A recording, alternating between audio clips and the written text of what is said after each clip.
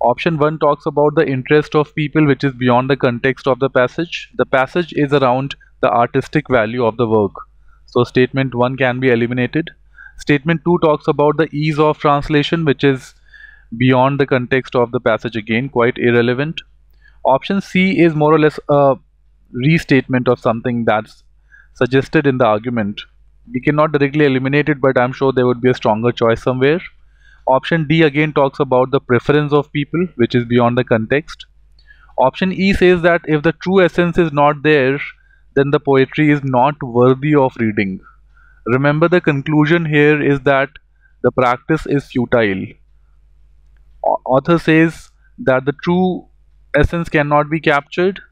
Option E says that something which does not capture the true essence is not worthy of reading and therefore the conclusion that this practice is futile is strengthened.